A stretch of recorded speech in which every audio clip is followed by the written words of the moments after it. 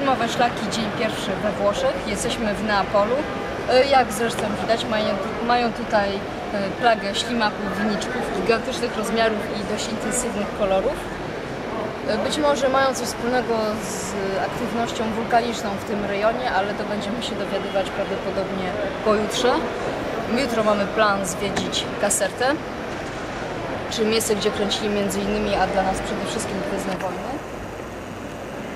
A pojutrze sobie zobaczymy Wezuwiusza i to, co tutaj nabroił innego oprócz ślimaków.